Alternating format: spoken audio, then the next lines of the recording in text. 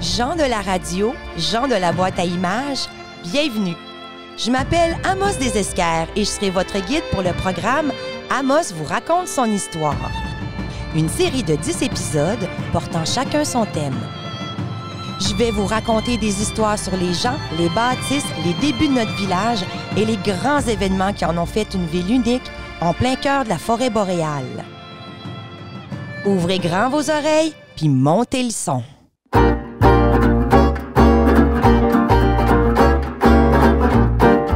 Bienvenue à tous à la maison en balado. Aujourd'hui, nous allons plonger dans la colonisation proprement dit avec la scène des nouveaux arrivants. Euh, tiré du circuit, Amos vous raconte son histoire. Scène qui aborde notamment les rudes conditions de la colonisation de l'Abitibi et également des instigateurs de ce projet, dont entre autres Hector Autier et Ivanoé Caron. Bienvenue à tous, euh, donc euh, toujours avec moi pour co-animer ces très instructives émissions. On vous présente Véronique Filion, scénariste, conceptrice, directrice artistique, auteure et metteur en scène, grande improvisatrice et comédienne avec les productions du Raccourci.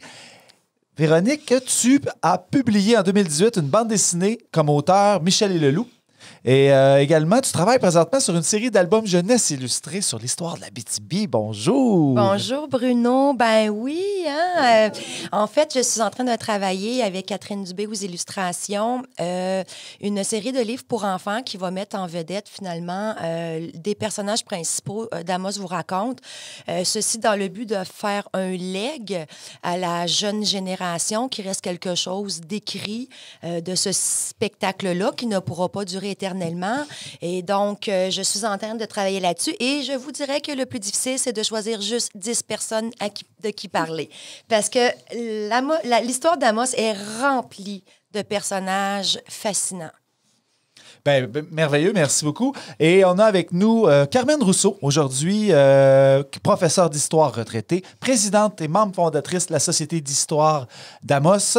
Vous êtes historienne et avez contribué euh, à la direction du collectif d'auteurs et comme auteur de plusieurs ouvrages, dont Amos, Amos, Amos, Amos, Ville centenaire, 1914-2014, paru en 2014, donc lors du centième de la ville, ainsi que La Petite Gazette, publiée chaque année depuis 1987. Donc, vous avez euh, même participé, là, on l'avait dit à l'autre épisode, à l'ouvrage sur euh, deux- 200 photos d'Amos. oui, oui. Euh, C'était un, ouvrage collectif, en fait, des membres du conseil d'administration de la Société d'histoire. Mais oui, j'y ai largement contribué. Ben, écoute, euh, merci beaucoup, Carmen. Tu permets qu'on se tutoie encore Oui, euh, oui, aujourd'hui. oui, oui. Merveilleux. Alors, euh, ben, on est très content de, de t'avoir avec nous. Euh, euh, toi qui as été une espèce de mentor euh, sur, sur le contenu historique. euh, Oui, je pourrais presque dire que Carmen est co-autrice parce que vraiment, quand je commençais mes recherches, et un, j'ai puisé dans les petites gazettes. Ça, c'est un. C'est un outil que je recommande vraiment aux gens de lire. C'est euh, très fascinant. C'est les archivistes et des gens de la population qui, finalement, qui vont prendre des informations, mais ils vont les mettre en forme de petits textes avec des, euh, des sujets thèmes. Et moi, c'est vraiment à partir de ça que j'ai fait mon circuit. Euh, Carmen a tout relu. euh, Carmen validait. euh, fait que je, pour- je, je m'attribue le mérite de l'avoir écrit, là, mais franchement, il y a une grosse partie de Carmen dans le circuit. Merci beaucoup pour ça. Bienvenue. Ça doit pas être le seul auteur qui vous consulte, euh, toi personnellement ou la Société d'histoire? Euh, ça arrive souvent que, pas, nécessaire, bon, pas nécessairement des auteurs, mais souvent des gens qui cherchent une petite information sur quelque chose. Des fois, c'est très pointu, malheureusement, on ne peut pas répondre. On ne peut pas inventer, mais euh, ça arrive très souvent. Et, Oui. ça, et ça fait combien de temps euh, que, que- que- que ça existe, ça, la Société d'histoire d'Amos? En fait, la Société d'histoire d'Amos euh, a été comme refondée en 1980. Avant, il y avait eu la Société historique d'Amos dans les années 50, mais qui a jamais très, très bien fonctionné, puis n'a pas vraiment démarré. Euh, a eu très, très peu d'activité. Donc, en 1980, ça a été refondé sous le nom, pas de Société historique, c'est un vieux terme. On préfère aujourd'hui Société d'histoire. Donc, ça fait plus de 40 ans Et que vous... que je suis là. Vous êtes Oui. là aussi? Ben, en fait, dans le, petit, pas le dire. dans le petit club fermé des amateurs d'histoire à Amos, dès qu'on se demande quelque chose, la phrase, c'est « demande à Carmen ». C'est ce qu'on se dit dans le métier. ben, en tout cas, merci d'être là. Merci d'être avec nous Ça me fait plaisir. Merci à toi, Bruno, d'être avec nous. Bruno, je pense que ça va être ton épisode parce que particulièrement, euh, c'est une scène qui porte sur Hector Autier, personnage que tu incarnes depuis les tout débuts du circuit. Alors, euh, autant que tu as une carrière d'improvisateur, de producteur, euh, on t'identifie beaucoup à Amos en tant qu'Hector Autier. Alors, j'ai bien hâte de t'entendre parler. Ben oui, je vois mon costume juste là.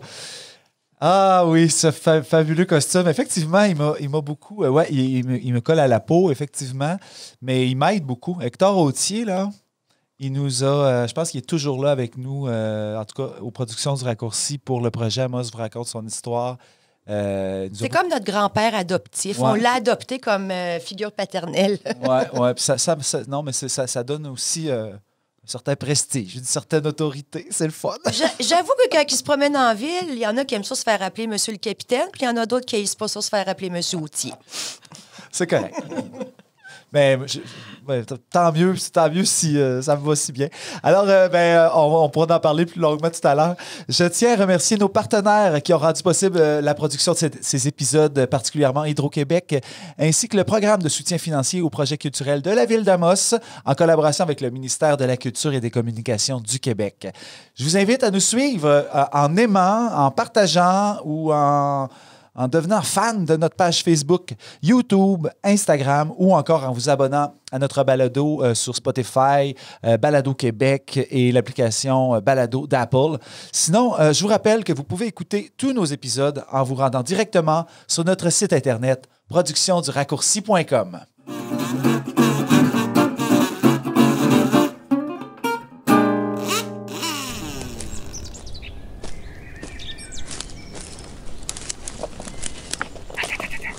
Tu vois, mon gars, ces petites pattes-là, -là, c'est des traces de lièvre. Ceux-là, là, c'est des traces de renard. Ceux-là.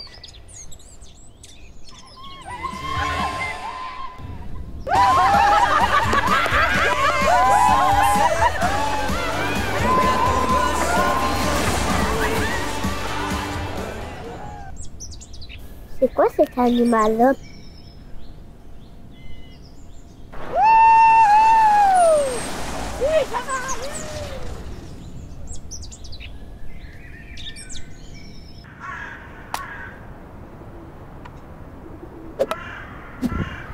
Check ça! Check ça!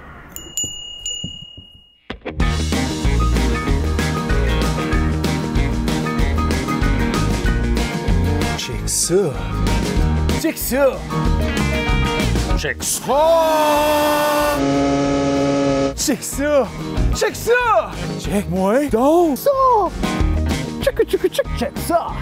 Check ça! Check ça.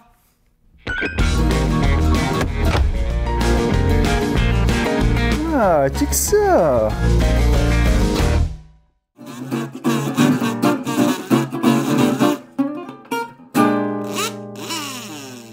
L'Abitibi-Témiscamingue est une vaste région aux multiples visages. Plusieurs en ont entendu parler, d'autres l'ont visité. Dans l'imaginaire collectif, l'Abitibi-Témiscamingue est synonyme de région nordique éloignée des grands centres. La région évoque aussi le pays de l'or et de la forêt.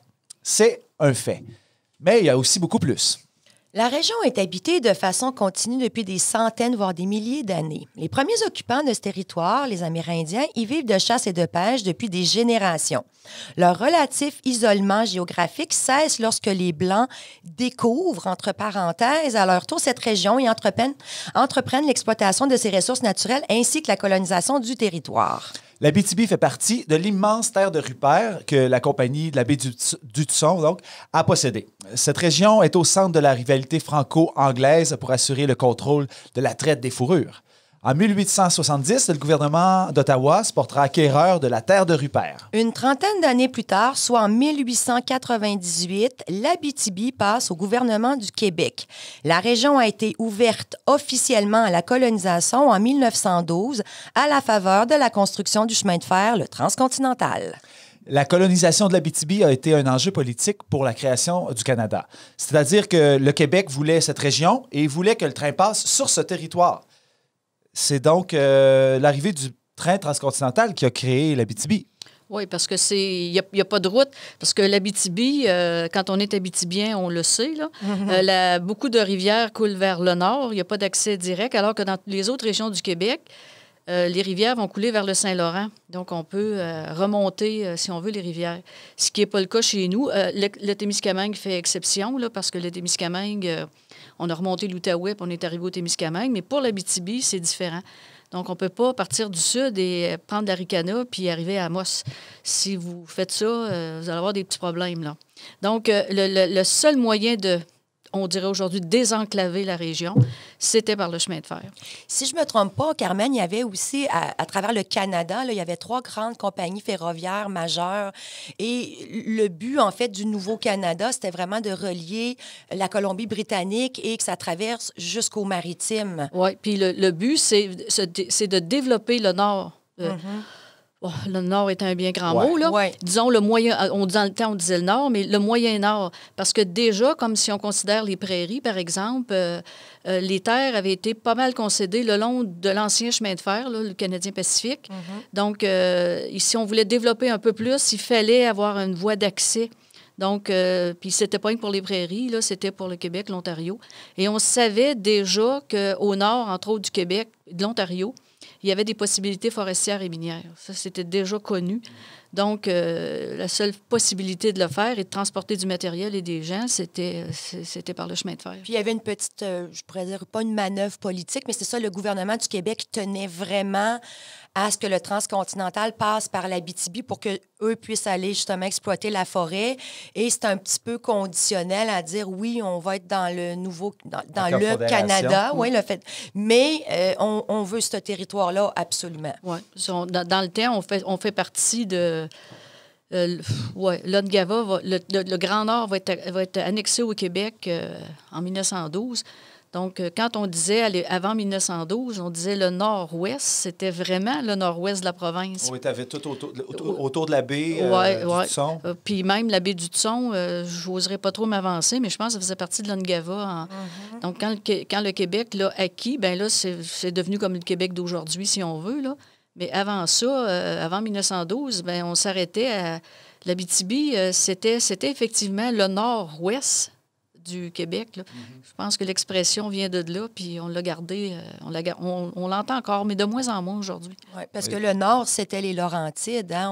On, on s'était arrêté à Mont-Laurier, finalement. Ouais, C'est quand même incroyable, finalement, que le- la configuration actuelle administrative de la carte du Québec, euh, ça fait à peine 100 ans que c'est euh, construit de cette façon-là. Oui, oui, puis ça, ça a changé, euh, effectivement, là, au, cours de- au, au cours des années. là. Les appellations ont changé, euh, les, les, euh, les configurations géographiques, euh, la carte aussi euh, s'est modifiée là, sur le plan administratif aussi au cours des années. Même le mot Abitibi a eu plusieurs façons de s'écrire aussi. Ça ah se oui, peut-tu? oui, oui, Ouais. oui, là, ça, ça a pris deux B, euh, deux T, Oui. euh, ça, ça a pris toutes sortes de, de- de- de façons de l'écrire, mais je pense que ça fait quand même assez longtemps qu'on s'est arrêté à, à l'orthographe actuelle. là. OK. Donc, donc euh, on réussit à installer le train, le chemin de fer. Ça passe par le nord, par la par Amos. Et là, comme dirait euh, le capitaine dans son monologue, euh, ça a fait un gros X sur une croix, euh, sur une carte, c'est-à-dire que ça amène du monde ici. Donc, c'est- quoi le plan? C'est quoi l'objectif? C'est quoi les actions qu'on veut entreprendre au niveau, entre autres, du gouvernement en Abitibi? Euh, là, je, me permettrais de, de- faire une distinction entre cette période-là, là, des années 1910, et ce qui est resté dans l'imaginaire populaire, qui est plus les années 1930. C'est pas la même affaire. Dans les années 1910, la- le gouvernement intervient pas tant que ça dans la colonisation. Il faut pas le voir comme les plans de colonisation qu'il y aura pendant le temps de la crise. Euh, le gouvernement aide pas vraiment les, euh, les, euh, les gens qui viennent s'établir. Oui, il y, a un, il y a un agent des terres, il y a quelqu'un qui va s'occuper de la colonisation, mais les gens sont, ont, ont pas, de, de- par exemple, de, de, de prêts ou de subventions pour construire leur maison ou des choses comme ça, ce qu'on va voir dans le temps de la crise. Le, le- le gouvernement se tient un peu, euh, je dirais un peu à l'écart. C'est pas la, pas la même chose qu'en- dans les années 30. Il faut faire la distinction Donc, entre les c'est deux. c'est qui qui veut euh, étendre la population franco-canadienne comme ça? Les politiciens, oui, mais l'aide ou l'implication du gouvernement ne va pas être si profonde et si importante que ça. Parce qu'il faut comprendre aussi qu'à l'époque, dans les années 1900-1910, il y a un retour fort du nationalisme au Québec. Ah, voilà. Donc, euh, on ne veut pas laisser à d'autres cette région-là. Et il y aura aussi un courant pour rapatrier, entre autres, ce sera un- le premier travail d'Ivanoé Caron, ce sera de rapatrier des Canadiens français qui avaient immigré aux États-Unis. Oui. Donc, il y a, il y a- il y a cet aspect-là, là, euh, donc, qui, qui rentre en ligne de compte, là, qui fait partie de, de la politique avec un grand P. là. les âmes québécoises Ouais, égarées. Oui, ben, oui. Il je sais pas, il- il- euh, je- ça fait longtemps que j'ai rien lu là-dessus, là, mais jusqu'à quel point on en a rapatrié, oui, il y en a eu. Puis dans la région, il y en a eu qui avaient fait un séjour ou qui avaient déjà habité aux États-Unis, puis qui sont revenus, parce que là, on leur offrait des possibilités de, de gagner leur vie, si on veut. Là. Mais euh, ça n'a pas été un, un succès. Là, on n'a pas rapatrié 90% des Québécois, là, parce que les Québécois immigraient vers les États-Unis depuis au moins les années 1840. Puis ça a duré fort jusque dans les années 1920. Donc, euh, l'estimation du nombre de Québécois qui ont immigré aux États-Unis pendant ces années-là, ça dépasse un million. Oui, oui, ben, je vais dire n'importe quoi, là. Mais Non, je t'arrête tout de j'ai suite. entendu dire que ça- on, on- on aurait pu être 22 millions aujourd'hui au Québec Ben, euh, on s'il n'y serait, avait pas eu euh, cet exode. euh, je pense que moi, ce que, ce que j'ai lu là, souvent, c'est qu'on serait au moins le double Ouais. de, de ce qu'on est aujourd'hui. Mais il faut dire aussi qu'il y a beaucoup de Canadiens anglais qui ont aussi immigré aux États-Unis. Faut- faut- Ah. faut savoir- ça- on parle souvent du Québec parce que pour nous, c'est. C'est comme ça nous pogne au trip un peu plus, là, parce que c'est comme la sauvegarde de notre religion, de notre, notre langue, langue. de notre Culture. Mais euh, effectivement, beaucoup de, de Canadiens français, on disait ça dans le temps, ont immigré aux États-Unis parce qu'il n'y avait pas d'ouvrage, il n'y avait pas de terre, euh, puis ils sont allés chercher de l'emploi là-bas. Fait que Puis, au début, c'était ouais. donc de l'immigration en Abitibi de façon très volontaire. Donc, c'était les gens qui, a- qui avaient le goût. Tu parles aussi de l'exode des États-Unis. Il y avait aussi cette, cette petite peur du clergé, de- des- des gens qui s'en vont en ville aussi, parce que la ville, ben c'est un endroit où il y a plus de vices, de tentations. C'est plus facile de perdre son âme, alors qu'à la campagne, C'était la grosse période d'industrialisation aussi, donc de... oui, puis, puis, puis les, les- les patrons étaient très anglophones aussi. Alors, si on voulait garder la culture, comme tu disais, canadienne-française, c'était mieux de se rabattre sur l'agriculture, faire des grosses familles, puis un peu rester entre nous et pas aller se mélanger en ville avec toutes sortes de gens et de sur... Comment on dit? Les sur- survenants. les survenants. et, euh, oui, c'est ça. Oui, y a- c'est vrai, ça. Il y a la- l'aspect aussi là, de, pour le clergé. euh, tu sais, il y a toujours l'expression emparons-nous du sol là, aussi. Oui. Là, tu sais, soyons maîtres de notre. Plus tard, on dira maître chez Maître nous. chez nous, ouais. Mais euh, à l'époque, c'était emparons-nous du sol, euh, restons chez nous, euh, sauvegardons notre langue, notre culture. Oui, ben là, le, le sol, on, on- on a passé par là, justement, en Abitibi. Mm. Donc, le clergé, euh, ouais, on- disons ça de même, l'Église catholique était, était, était forte, était puissante au début du euh, 20e siècle. Donc, pour, pour aider, on, délègue des, des missionnaires, finalement. Ouais, en fait, euh, le missionnaire colonisateur, là, le premier qu'on a, c'est Ivanoé Caron. Mais c'est un employé du gouvernement. C'est un fonctionnaire. OK. Euh, il avait OK, donc il appartient à l'Église, mais il est... C'est un prêtre, mais son, son, son job, Oui. comme diraient les Français, son job, c'est un fonctionnaire du gouvernement. Euh, oui, oui, il est payé par le gouvernement. Il fait ses rapports au, euh, au ministre de la colonisation. Euh, J'ai même vu des, euh, des, des- des- rapports de dépenses, là, où il note, là, bon, euh, s'il a pris une chambre à l'hôtel ou quelque chose du genre, tout est noté. Et puis, euh, c'est un fonctionnaire. Lui, il, a été, il avait travaillé deux ans, avant de venir en Abitibi, il avait travaillé deux ans pour le gouvernement fédéral, pour ce qu'on disait tantôt, là, rapatrier des Canadiens français. Et euh, Caron, c'est un personnage quand même assez, assez spécial. C'est un, bon, c'est un prêtre, mais euh, avant de faire ce travail-là pour le gouvernement fédéral, à partir de 1909, avant ça, il avait fait des études à Rome. Il avait un doctorat en théologie. Il avait voyagé en Europe. C'est, un intellectuel. oui, un curieux, intellectuel oui. qui va devenir un homme de terrain, puis un très bon organisateur. Fait que, mais on ne sait pas pourquoi. J'ai jamais trouvé pourquoi, même dans ses papiers, pourquoi euh, il quitte son emploi au gouvernement fédéral. Est-ce que c'est justement... euh, je pense qu'il était un peu nationaliste. euh, je pense oui, qu'il l'était un oui. peu. Donc, on a probablement fait une offre qui, je ne le sais pas, on ne le trouve pas non plus. Donc, euh, il est nommé donc mi- missionnaire colonisateur, mais il n'est pas ici, en fait, comme missionnaire. Il n'a pas un rôle d'abord de prêtre. Euh, c'est sûr qu'il peut dire une messe. C'est un mais influenceur. C'est un influenceur. Mais c'est un fonctionnaire. Son travail, c'est de recruter des colons, c'est d'organiser leur convoi ici, c'est de voir est-ce qu'ici, ils puissent s'installer avec... euh, puis on voit dans ces rapports, là, c'est... euh, c'est très, très. C'est pensé, là. Ils ne sont pas arrivés ici de même. Tiens, on plante, on plante une tente ici, là. C'est organisé, c'est planifié. Donc, le rôle du gouvernement, il est plus à ce niveau-là qu'au niveau de l'aide directe aux, aux- aux colons. Eh ben, j'entends quand même des nus parce que je ne savais pas qu'on pouvait faire partie de la grande famille des curés prêtres tout en ayant un salaire du gouvernement. Je- je- Ben- J'avais lu, je pensais, est-ce qu'il l'avait fait de façon bénévole en tant que représentant justement d'une certaine tranche de clan- de- du clergé. Bref, euh, si vous pouviez me voir à la radio, je suis abasourdie. Ben, pensez qu'au curé Labelle. Oui, Il était sous-ministre de la colonisation. c'est vrai. Donc, il il y a était- un salaire. Puis Ouais. il y avait un salaire, il était fonctionnaire. Donc, euh, un n'empêche pas l'autre. Et comme l'État et l'Église à l'époque étaient très liés, Oui. mais euh, il avait probablement choisi un- quelqu'un qui, euh, qui était capable de faire le boulot. Ben, c'est ça, parce que lui, dans le fond, son travail, c'était. euh, il était ici, mais il voyageait dans le sud de la province, Oui, oui. aux États-Unis. Ouais, ben, c'est ça. Il a voyagé aux États-Unis, mais à partir peut-être de 1911, surtout, là, ou 1912, il a surtout essayé de recruter au Québec. Alors, il allait dans les, ce qu'on on appelait les vieilles paroisses. Il y en a beaucoup, euh, par exemple, de gens d'Amos, qui, entre autres, euh, venaient de la région de la Mauricie. Donc, il a beaucoup recruté. Là, il s'arrangeait avec le curé de la paroisse, le dimanche après la messe. Il rencontrait les gens, puis là, il leur vantait, bien sûr, les avantages euh, de venir en Abitibi. Et puis, les gens qui étaient intéressés, là, maintenant, après ça, on organisait le voyage.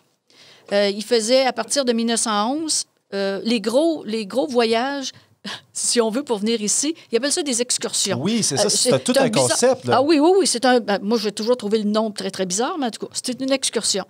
Donc, euh, il recrute les gens. Et là, en plus, c'est lui qui doit s'occuper de, de négocier des tarifs par le train avec les compagnies de train. Parce que lui, naturellement, il voulait que les gens viennent au moindre coût possible. Oui. Donc, euh, il devait rec- recruter les colons, organiser leur voyage et négocier. Puis ça, il y en a euh, dans, dans sa correspondance là, ou dans ses rapports, euh, rencontrer un tel monsieur de telle compagnie ferroviaire euh, pour pouvoir avoir des tarifs spéciaux pour les colons. Mais là, il faisait du développement de marché de toute façon. Fait que pour le train, là, après ça, l'économie allait augmenter. Là. Le train allait avoir plus de clients là, s'il y a du monde qui s'en venait dans le nord comme ça. Là. Mais c'est bien pensé pareil, parce que tu as beau aller dans faire 800 km puis dire il y a une belle région, c'est beau, c'est beau, vous allez voir, ça va être bien. C'est assez efficace comme moyen de dire je vais, je je pacter des wagons de monde, vous allez le voir de vos yeux. Puis on le sait, les gens qui viennent en Abitibi, il faut, le- faut le voir pour le croire. Là. Puis en plus, il y a des tarifs aussi pour les individus, mais quand ces gens-là s'en venaient ici, il n'y a rien. Donc, il faut qu'ils pensent d'apporter leurs animaux, d'apporter leurs meubles. Donc, il fallait qu'il y ait des wagons de frais, tous- de frais qui, so- qui soient prévus. Donc, ils négociaient aussi les tarifs. Et la colonisation s'est faite aussi de façon planifiée. Euh, il était venu avec Monseigneur La Tulipe, euh, puis ils avaient euh, fait le long de la voie ferrée, là, ce qu'il y avait à l'époque de, de, de, de- de fête. Et c'est clair et net, et c'est répété dans les rapports. Ils ne veulent pas, excusez l'expression, mais pitcher le monde n'importe où. Il faut que ce soit loin de la voie, le long de la voie ferrée. Et il y avait délimité trois centres de colonisation. Un dans la, régi- un dans la région de la Reine, un dans la région de Tachereau, puis un autre dans la région d'Amos. Et les raisons sont claires et tout à fait logiques. Il faut que les gens euh, soient regroupés, qu'ils puissent s'entraider. Euh, il faut, euh, il faut qu'ils sentent qu'il y a- une aide, puis que un sentiment, oui, puis mais aussi euh, très terre à terre. Il faut qu'ils puissent s'entraider. Puis il ne faut pas éparpiller le monde pour pas éparpiller les forces et les ressources. C'est clair. Donc, c'est tout planifié. A d'abord, il y a des centres de colonisation qui vont être développés avant les autres parce que, justement, il faut faire ça. Et même avant de venir, il y avait prévu d'utiliser les anciens hangars parce qu'on dit quand le monde va arriver, là, il y a- il y a- il y a- comment est-ce qu'ils vont faire pour s'approvisionner? Donc, il avait prévu d'utiliser les anciens hangars de la- des, des constructeurs, des entrepreneurs du chemin de fer. Fait qu'il était venu avec, il avait envoyé un, certain nombre d'hommes. Ils ont, ils ont dit non, c'est pas possible, on ne peut pas euh, se servir de ça, c'est trop détérioré, c'est sale, c'est malpropre. Donc, ils ont fait construire des hangars à provisions OK. euh, pour pouvoir justement qu'il y ait des endroits où les gens puissent avoir un minimum de produits où ils puissent s'approvisionner en attendant que Oui, parce ça puisse fonctionner. ici, il n'y avait pas de maison Non, encore. non. Il y avait, il y avait, tu partais avec ton Ah, ça, linge, ça- ton petit ménage. Tu n'as pas de euh, magasin général, tu t'arrives, là, tu Ça faut devait être magique. Ça devait être magique arriver ici, sortir du train, pas de quai au début même. Oui, euh. Hey, c'est ça quand vous débarque, euh, voyez, euh, sont à mal, puis... euh, euh, Je me demande tout le temps s'il y avait des madames qui mettaient leur beau linge pour faire le, le trajet, puis tu devais être découragé quand ils arrivaient. Ben moi, je pense que les gens ils devaient être comme habillés. Dans ce temps-là, on, on s'habille, on s'habille. euh, Ça n'allait pas en ordinaire. ville, là, quand on même, On s'habille or- ordinaire. Sans être super chic, je pense qu'il n'y avait pas. Tu sais, nous autres, aujourd'hui, on a tout- des vêtements pour toutes sortes de choses. Mm. Hein? On ne fait pas du tennis avec nos vêtements où on va faire notre jogging. Fait que, fait que, fait que, mais dans le temps, les gens n'ont pas tant de vêtements que ça. Fait que je pense qu'ils étaient, comme ils disaient, habillés propres. Puis, ben, euh, c'était comme ça. Mais le voyage était long au début. Il faut se rappeler qu'au début, le, le chemin de fer, il- il- il- on parlait de l'auto de l'île de Colombie-Britannique jusqu'aux Maritime. maritimes. Mais euh, le, le chemin de fer est con- construit en sections. Donc, au début, la section euh, pour relier la partie ouest à la partie est n'est pas finie.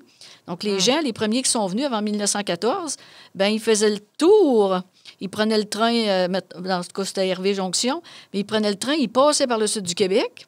Là, ils remontent, là, ils s'en allaient jusqu'en Ontario. Ils, ils arrivaient de l'Ontario, les premiers. Là. Ils arrivaient de Cochrane, ils arrivaient de l'Ontario, Ouais. avant que le chemin de fer soit relié, là, pas loin de Sainte-Terre. Mais moi, je pense que c'est pour ça qu'ils appelaient ça des trains d'excursion. Quand moi, je m'en vais en excursion, je sais, je n'ai pour un bout. Il me faut bien des bars granola, de la bouffe. Tu sais, ça va durer longtemps. Il risque de mouiller, puis ma tante part au vent. Fait que je pense que le train d'excursion, ça voulait dire excursion. tu allais te taper une aventure de 1500 km de Ah train. oui, c'était. Et euh, ça brassait dans les C'était deux, trois jours, Ouais. puis euh, c'était. à côté du aventure. wagon à bestiaux, puis avec les bébés. Ouais. s'est Ah oui, quelque oui, oui, chose. Mais il y, a- il y avait, il y avait une place pour s'asseoir, puis des, des lits, des couchettes, comme ils disent. Hey, euh, euh, parlons, de, parlons de, la- de son chum à lui, son, pas, pas son chum euh, dans la vie, mais son, son bon ami Hector Autier. Oui. Euh, parce que quand même, on dit c'est organisé. Il y a des stratégies. J'imagine qu'il il faisait pas venir huit commerçants, puis un- il, devait, il va avoir un forgeron, un- un- des, Ah, des je sais pas. Non, je suis pas sûre Ok, que c'est- je suis pas sûre que c'est organisé comme ça. Euh, Je pense que les gens qui veulent venir viennent, là, puis euh, les gens qui viennent, souvent, de toute façon, ils, savent où est-ce qu'il y a des manques ou des besoins. On dirait que c'est- le bouche-oreille devait fonctionner ou euh, les gens s'écrivaient, ils connaissaient, mettons, quelqu'un, ils disaient, ben, tu devrais venir parce qu'il manque. Mais c'est pas planifié au sens de, on va faire venir trois forgerons, puis euh, deux menuisiers. fleuristes, puis, euh, ben, bon, non, ben. c'est c'est pas planifié comme ça. Mais, mais là, avec Hector Autier, qui, était, qui, a- qui était- qui avait été mis euh, comme euh, agent des terres, dans le fond, qui- avant même qu'il y ait une ville, là, dans le fond, euh, lui, là, euh, son travail, c'était de visiter euh, le territoire en canot. Puis, Hey, moi, je connais mon texte. Oui, oui. Attention de pas partir la cassette. Là. J'écoute tantôt. accueillir, les, les- accueillir les gens à l'Agence des terres, distribuer les terres? Ouais, le, le- le rôle d'un agent des terres, c'est. C'est ça, principalement. C'est pas pour rien que ça s'appelle agent des terres. Euh, c'est lui qui vend, qui distribue les lots, qui voit à faire l'inspection pour voir si les lots sont, sont, sont bien organisés. Euh, en, bon, mettons qu'en grosso modo, c'est ça. Il voit à la vente des lots. Puis euh, ça, la façon dont ils ont vendu les lots aussi, ça l'a changé au, au- du début, aller, très rapidement. Au début, ils voulaient vendre les lots à, à l'enchère. Ils l'ont fait. Ils Ils l'ont l'ont fait, fait, ouais. ils l'ont fait, mais ils se sont rendus compte rapidement, Hector Autier et ses amis, Et compagnie. et que c'était pas la bonne façon parce qu'il dit les, les gens ordinaires, là, les, eux autres aux à l'enchère, ils sont pas capables d'acheter ça. Là, Euh, parce que là, c'est rien que les, les gens riches qui vont pouvoir les acheter. Ils avaient peur de, de créer ça, cette espèce de. les belles terres aux riches, puis de reproduire un vieux modèle. euh, Oui, ben, euh, c'était, ben, je pense que c'était vraiment comme concret, c'était terre à terre. Euh, il, faut, il faut que les, les terres soient accessibles aux gens ordinaires. Donc, euh, il faut, euh, faut. La vente à l'enchère, c'est quelque chose qui est oublié. Puis même, ils vont établir à un moment donné comme des genres de. Tu vas pouvoir payer en différents versements. Donc, c'était, c'était quand même des gens.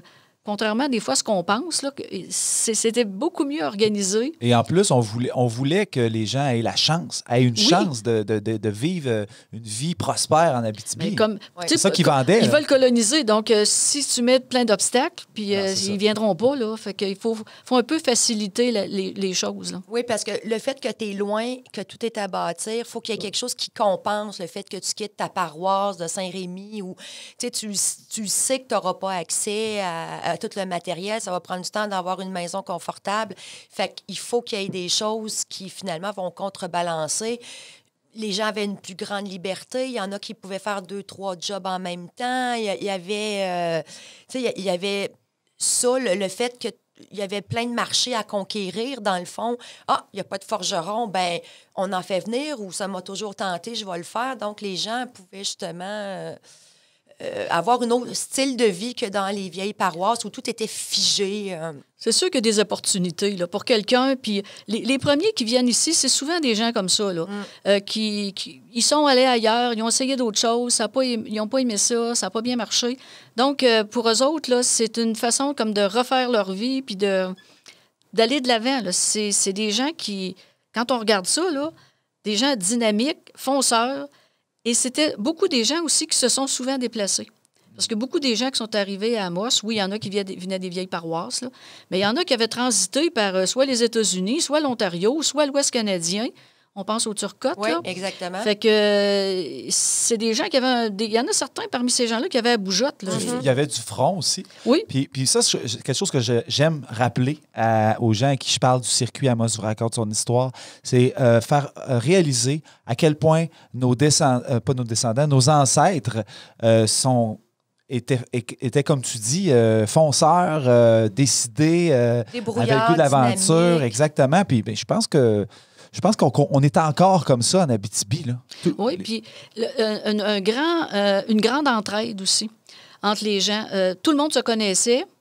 Donc, euh, il y a une grande entraide. C'est sûr qu'il y a des gens qui vont, à la longue, être un peu plus fortunés parce que, à cause de leur métier ou euh, parce que c'était des gens plus instruits, ils vont occuper différentes fonctions. Mais il y avait quand même beaucoup ce sentiment d'aide et de, de collaboration entre les gens euh, qui, qui- qui a marqué beaucoup, je pense, la région aussi. C'est peut-être typique aux régions où il y a peu de monde, Peut-être. puis ou aux régions neuves aussi. Ouais. Ah, Ou ah, ben, région avec des conditions météorologiques difficiles aussi. là. Euh, L'hiver, on le trouve dur aujourd'hui, là, mais dans le temps, euh, tu laissais pas ton voisin mourir de froid. Tu allais lui donner une corde de bois. Fait que, tu sais, comme tu dis, ben, peut-être plus. pour dire là, pourquoi, tu veux, pourquoi tu veux lui donner une corde? ben, pour se pendre, s'il se chauffe pas, mais... euh, non, mais ce que je veux dire, c'est que le fait qu'on avait des conditions rudes, euh, t'as pas le choix de t'aider. Personne ne peut venir ici en égoïste, là. Mais, mais j'ai une anecdote à, à ce propos-là. C'est Hector Autier qui écrit à, à l'abbé Caron, puis euh, qui lui dit euh, Bon, euh, il y a eu. la température tel jour ou tel mois a baissé à moins 60. Et Ah fait qu'il il lui dit personne de mort. Et n'allez surtout pas mettre ça dans vos, euh, vos, euh, publicités parce qu'il n'y aura plus personne qui va venir. il, fait, il spécifie. Oui, oui. Comme- Mais c'était avec un brin d'humour. Ouais. hein, Oui. Moins 60, personne de mort. Ah, que j'aurais aimé le connaître, cet Hector Autier. Moi, j'aurais aimé connaître justement la dynamique entre l'abbé Caron puis Autier parce que ils ont l'air d'être deux personnes extrêmement passionnées, euh, propagandistes, capables de convaincre, comme on dit, un Esquimau d'acheter un frigidaire.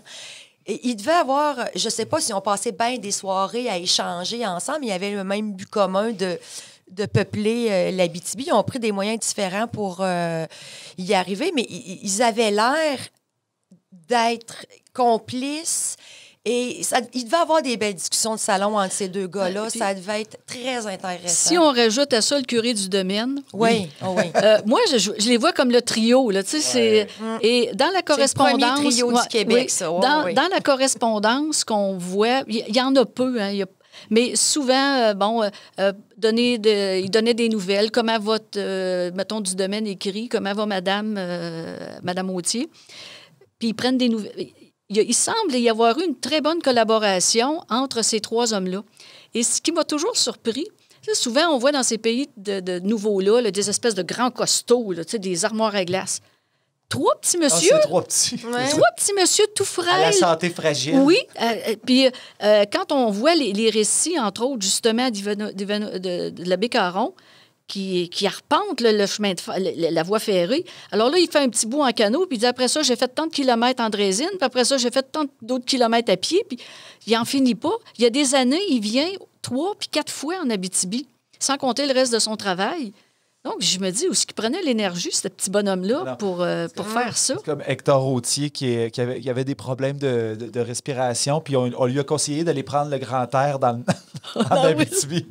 Hey, lui, euh, il se l'est pas fait dire deux fois, tu sais. Ouais, ouais. Mais, euh, puis, tu sais, lui, on, on connaît la vie qu'il a eue aussi. Là. Il a investi dans les mines. Puis, Il n'y a euh, rien, rien qui n'a pas touché. Exactement. On par- incroyable. Il aurait même réussi à se faire, en- se faire enterrer dans le crypte à la cathédrale. Ah ouais, hein? Ah ouais, on, on va y revenir de ça. Ça, c'est toute une histoire aussi. Mais c'est pas, euh, c'est une, c'est pas une histoire qui est, c'est pas euh, tant abracadabra que ça. Mais ce qui est drôle, c'est que finalement, ça l'a arrêté à du domaine puis Autier. Ça, puis il y a, il y a tre- il y a 13 espaces euh, libres dans- sous la cathédrale, des- dans la crypte. Mais ça a comme pas pogné, ce concept-là. ça, ça- ça a créé une, d'une belle légende sur Ouais. Autier, puis Ouais. pourquoi qu'il est donc là. Mais, euh, Mais, euh, mais là, on- le rêve de la colonisation chez les, euh, les Canadiens français de l'époque, euh, puis peut-être même du- de l'Ouest canadien aussi, mais euh, le territoire, euh, il n'est pas au, blanc, là. Il y, avait du monde ici avant, là, de- de- depuis long, de longs millénaires. Donc, ben oui, des, près d'Amos, les Abitibi-Winnick euh, fréquentaient le lac Abitibi pendant l'été et se dispersaient sur le territoire pendant l'hiver.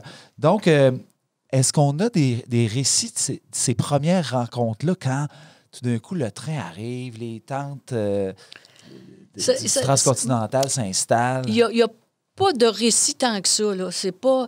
Mais il semble que les relations, les quelques petits commentaires qu'on réussit à trouver ici et là, que les relations étaient quand même euh, amical. amicales.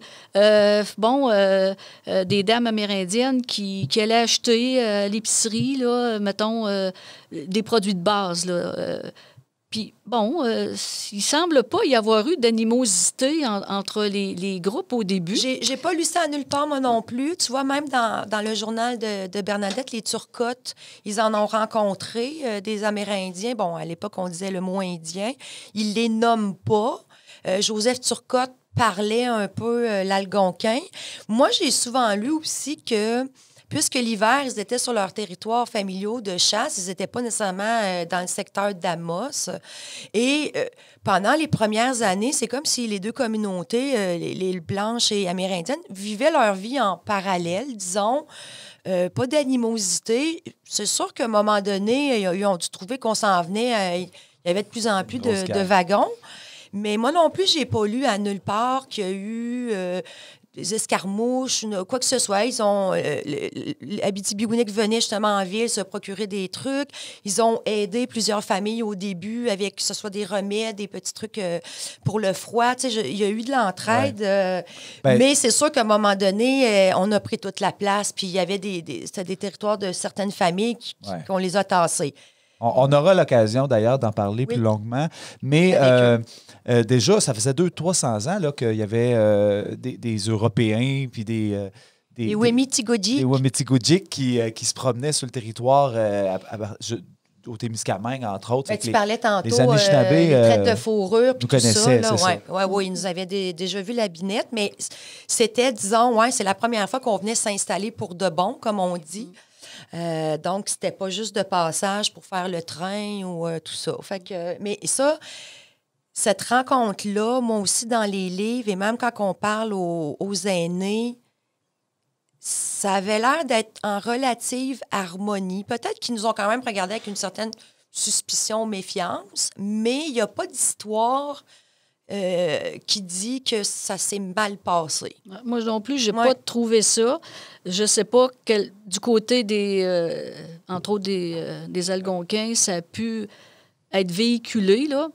Mais dans l'histoire blanche, euh, il n'y a pas de récit de, ça, d'animosité. Puis effectivement, on dirait deux mondes parallèles. Euh, surtout à Amos, qui n'est pas un lieu de, de résidence permanente. C'est vraiment un lieu de passage.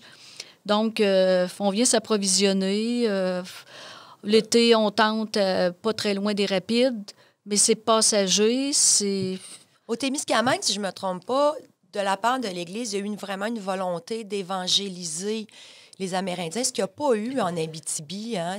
Il l'a eu, il l'a eu aussi, mais euh, c'est peut-être moins visible parce qu'on était euh, quand même peut-être à une autre époque. Ouais. Au Témiscamingue, on est comme au, au milieu du 19e siècle, tandis que euh, au début du 20e siècle, il y a quand même des missionnaires, là. mais les missionnaires, je pense qu'en Abitibi, ils sont déplacés vers les Amérindiens.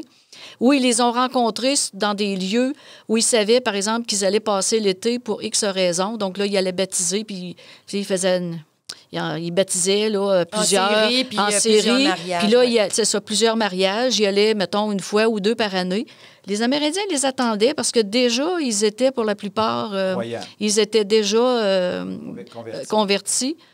Euh, ils attendaient le missionnaire, Mhm. mais le missionnaire était pas, c'est ça, c'était pas un- quelqu'un qui était permanent, donc euh, euh, je- ça c'est quelque chose que j'ai pas vraiment fouillé, puis je n'oserais pas trop trop m'avancer sur, sur, sur ce terrain-là on- parce que on- j'y connais, je connais pas assez. On, on- on- on ira aux sources. Hein? Exactement. Il n'y a rien de mieux qu'avoir quelqu'un, justement, de- des Abitibi-Winnick pour venir nous en Par- parler. parlons euh, justement euh, de, de comment la nomination, de la nomenclature euh, Amos, la tulipe, Aricana. euh, dans les débuts, euh, j'ai entendu dire qu'on pouvait même, on l'appelait Aricana, le, le village. Qu'est-ce qui s'est passé? Ben, le- le- le- je pense que beaucoup de gens aussi savent euh, l'origine du nom. Et effectivement, au début, il y a une petite hésitation, mais je vais vous dire que la tulipe, là, ça n'a pas vraiment pogné, ça, cette affaire-là.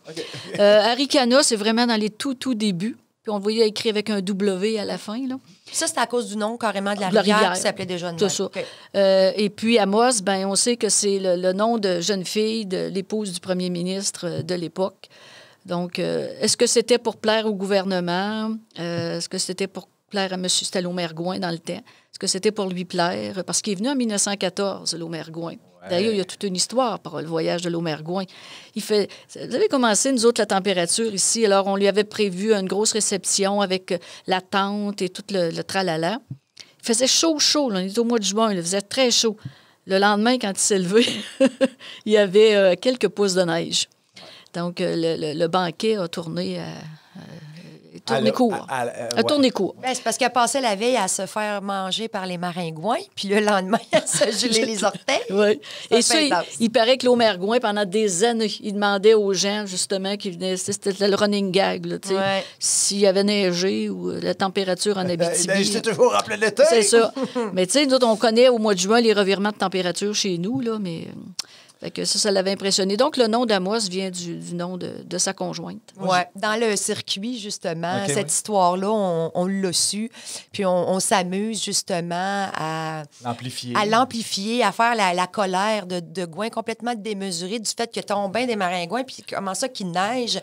Et que là, on pédale pour essayer qu'ils ne repartent pas fâchés dans, dans Mais le il sud. disait que c'était pas colonisable. Oui. C'est parce que c'était au début, puis il, dit- il- il menaçait de couper les fonds de la colonisation. Mais ça, c'est-tu vrai, c'est pas vrai? Parce que on, on- euh, Et on s'amuse à dire ça. que Hector Routier, avec ses grands discours, puis sa, sa force justement de, de convaincre les gens, aurait réussi finalement à le calmer en lui proposant d'appeler la ville Amos et que ça aurait donc bien fait le, le bonheur du bonhomme. Fait que euh, dans le circuit, c'est la petite histoire. C'est relativement plausible. Ouais. Ça on- se pourrait. Mais on sait que le nom, le nom vient quand même. Oui, ça, oui. ça, c'est certain. Là, le nom vient de, son, de sa conjointe. Mais pour les petits à côté, euh, on peut imaginer. Ouais, ouais. Mais et- euh, dans le fond, euh, on a fait vraiment le tour du. Ben, on aurait pu se, lancer aussi dans toute la technicalité euh, de quand on recevait une terre, les conditions du billet de location, etc. Mais on va, on va, bien le, découvrir dans la scène qu'on va écouter tout à l'heure. Donc, c'est assez bien décrit. Carmen, est-ce que tu aurais des, propositions de référents documentaires? On, parlait, de Denis Chabot qui faisait. Euh, dans- dans- il, a, écrit plusieurs ouvrages oui, de- sur oui, la, qui, qui- est de Val d'Or. Oui, il y a- on va trouver des choses, par exemple, dans, un- dans plusieurs ouvrages qu'il a publiés. Entre autres, il y avait un livre de photos qui s'appelait La BTB minière, que c'est des photos avec des commentaires euh, en bas. Euh, dans le livre, justement, encore une fois, d'Amos, Ville centenaire, vous allez trouver très, très résumé euh, des, des, des buts. Ceux qui ont la chance encore d'avoir des Pierre Trudel entre les mains, la BTB d'autrefois, d'hier et d'aujourd'hui, ben profitez-en. Mais ce qui est rigolo, c'est qu'on se rend compte que le livre de Pierre Trudel, Pierre Trudel a, demandé, c'est beaucoup pour son livre, inspiré, pas rien qu'inspiré, il a pris des notes de Ivanoé Caron. Moi, j'ai vu des rapports d'Ivanoé Caron C'est textuellement la même chose dans le livre de Pierre Trudel. oui. Textuellement la même affaire. Donc, euh, c'est. Et euh, il, il avait demandé, là, c'est pas. Caron le savait, là, qu'il avait demandé ses notes, puis ça- ça- c'était bien correct. Mais. euh, donc, euh, on a, là, des. Comme, comme les premiers témoignages qui sont accessibles à tout le monde, là, si on veut, c'est Pierre Trudel. C'est le livre qui est, qui est difficilement accessible aujourd'hui parce que c'est un livre de, de la fin des années 30. Puis euh, quand Pierre Trudel l'avait édité à, titre, à compte d'auteur, là, il y avait eu de la misère à vendre des exemplaires quand on pense qu'aujourd'hui... On se euh, l'arracherait, on- on se l'a- hein. ouais, c'est Ouais. ça. Fait que, il, y a, il y a toujours ces livres-là, puis... euh, M. Autier, lui, est-ce qu'il a laissé beaucoup de correspondance? Est-ce qu'il a laissé beaucoup de lettres? euh, Il a laissé beaucoup d'articles. Euh, Oui, oui, mais... Mais moi, j'ai ouais. pas, j'ai, j'ai jamais consulté cette correspondance-là. Et ce que j'ai d'Ivano et Caron, c'est parce que je les ai trouvés aux archives à Québec. Ah oui. Euh, puis c'est ces archives un peu qu'il a laissé en tant que fonctionnaire, si on veut. C'était- Puis euh, moi, quand je suis allée, c'était même pas classé encore. C'était les, les chemises authentiques de l'époque, là, Ouais. toutes euh, en train de se défaire. Et euh, c'était ces rapports, souvent sur du papier oignon. Là, euh, Oh, le petit papier mince. là. petit papier mince, parce qu'il faisait, en mettons, en deux, trois copies sur une machine à écrire. Donc, c'est souvent, c'est c'est dans cet état-là. Et la correspondance, le problème qu'on a toujours avec la correspondance, c'est que tu as souvent juste un côté. Oui, oui. Tu n'as pas ce que lui, en, tu n'as Ah. pas ce que la personne envoie, tu as ce qu'elle reçoit. Donc, de quoi elle parle, ben, tu n'as pas l'autre bord.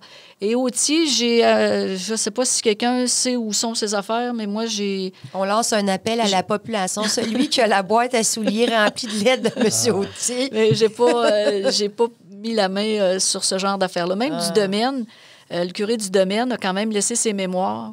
Donc, Ah au oui. début, il y a des choses quand même qu'on peut retrouver qui racontent. Moi, je trouve ça phénoménal, la mémoire de ce monde-là. Euh, mais pour Hector Autier, c'est ça, c'est par des à côté, c'est par des récits, c'est par les journaux qu'on qu'on apprend Donc, on euh, n'a de pas, sa carrière. on n'a pas trouvé d'écrit personnel. Sa correspondance, je ne sais pas si quelqu'un. Moi, en tout cas, je ne m'avancerai pas, là, mais moi, je ne connais pas cette Mais correspondance. je me dis qu'il devait en avoir. Je veux dire, il était Oui. connecté sur le, le monde politique. Et où est-ce que c'est passé? Oui, ouais, exact. Je sais pas.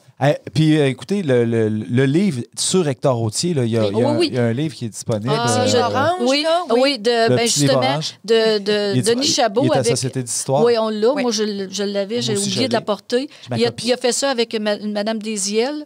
C'est dans une petite collection euh, de Mhm. l'IDEC, célébrités canadiennes. Euh, il date quand même d'un certain nombre d'années, le livre de ce livre-là, mais il se trouve encore probablement dans certaines Ben, c'est bibliothèques. vraiment super intéressant, Oui. ce livre-là. C'est court, c'est trop Oui. court. euh, Peut-être euh, en raison de qu'on Ben, n'a du pas format. trouvé. euh, Mais c'est le format. Ben, je pense que le livre est court parce que c'est cette collection-là. Ouais, fait que ouais. dans ce genre de collection-là, tu as droit à tant de pages. hein. ouais. Donc, c'est probablement pour ça que Denis Chabot s'était limité. Euh, Et nous, un été, je pense en 2014 ou 2015, on a reçu la petite fille euh, d'Hector Autier euh, dans un circuit qui est venu nous, nous rencontrer. On a pris des photos avec. Mais tu sais, ça, c'est capoté. Quand, quand ça nous arrive, il y, en a eu plusieurs, d'ailleurs, plusieurs familles qui sont venues Ben, je pense à, à Charles Duguay, qui est apparenté, puis que moi, j'ai eu la chance, il m'a amené des petits trucs, il m'a parlé de, de- du souvenir qu'il avait de- d'Hector Routier, qui était vieux. C'était son grand-papa, donc il ne l'a pas connu quand c'était l'agent des terres actif de tous les, combats. Mais c'est le fun d'avoir un point de vue qui est personnel et humain parce que tu lis, le, on parle du petit livre Orange, c'est son CV, c'est condensé, euh, on voit tout ce qu'il a fait, mais on n'a pas toujours accès euh, au côté humain. Fait que quand on a des, des descendants qui se rappellent, ça, c'est le fun. Puis en même temps, ben, il avait précisé que sa grand-mère était moins commode. euh, euh, Madame Autier était moins plaisante que, que grand-papa. Bon, on arrête là. Alors, euh, Et puis, il y a beaucoup d'autres arrivants dont, bien sûr, on Ah on n'a pas de place à parler. Tu sais, on aurait pu parler du docteur Biguet. On, euh, en tout cas, là, j'ose pas nommer d'autres mondes parce que là, ça, ça ne vient pas directement à l'esprit. Mais, Mais dans le livre du tellement- centième, vous avez toute la liste. hein. Oui. Il est Oh. écrit du premier convoi, les premières familles. C'est vraiment le fun. Mais justement, ça. vient de Pierre Trudel et puis des documents de- d'Ivanoé Caron, ces, ces listes-là, qu'on essayait de faire les plus exhaustives possibles. Mais vous savez, il y a toujours du monde qui est oublié. Pour une raison ou pour une autre, qui n'était pas là quand ils ont fait le recensement. Euh, La personne, elle a oublié de le nommer. Il y a toujours des oubliés. On essayait d'aller le- d'en nommer le plus possible. Ouais. C'est la même chose pour le circuit un peu euh, durant l'été. On, a- on a certains acteurs qui interprètent des, des personnages qui ont été connus, mais euh, on ne peut pas tous les prendre. Ça sera éventuellement pour un autre épisode euh, pour les, les, les, les, les- les familles célèbres euh, ou, ou moins célèbres d'Amos des débuts. Euh, merci euh, pour ce tour d'horizon pour les, des, euh, de la scène des nouveaux arrivants, justement, qu'on va écouter et qu'on va, on va plonger dans ce- la création de cette scène-là tout de suite après la petite pause.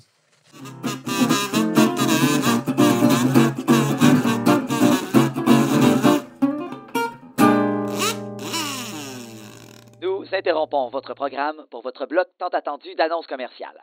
Nous tenons à remercier nos partenaires qui nous permettent de vous offrir ce programme extraordinaire totalement gratuitement à toutes les semaines. Tout d'abord, notre partenaire présentateur, Noroto Nissan, qui saura vous trouver le véhicule approprié. Noroto Nissan, un service de qualité depuis les 40 dernières années. La ville d'Amos, partenaire fondateur des circuits et spectacles Amos vous raconte son histoire. Amos, berceau de la BTB, la ville de l'avenir, longée par la majestueuse rivière Aricana. Hydro-Québec, qui participe avec nous depuis près de dix ans. Nos députés, Sébastien Lemire et Suzanne Blais, qui apportent leur soutien à la communauté artistique et culturelle d'ici. Agnico Eagle, société d'exploitation orifère en activité depuis 1957. Ressources Bonterra, à la tête de trois projets miniers près de Lebel-sur-Quivillon. Location Amos, spécialiste en location et vente d'équipements forestiers, miniers et de construction, situé à Amos, dans un magasin fraîchement rénové. Merci à tous nos partenaires médiatiques. Médiaté, fier de participer au contenu créé par des gens d'ici, bien de chez nous. TVA et Nouveau Abitibi. Capital Rock et Wow FM, propriété de Cogeco Média. Merci au journal Le Citoyen et à Bao Média. Une mention également pour NIAC, spécialiste en hébergement web, développement de sites et d'applications qui offre des outils technologiques à toutes les entreprises. Merci à Protec, au centre du camping d'Amos et Lassar et à Canadian Tire pour leur participation financière à notre projet. Merci de les encourager, puisque c'est grâce à eux que vous pouvez en apprendre davantage sur votre histoire. Bon programme!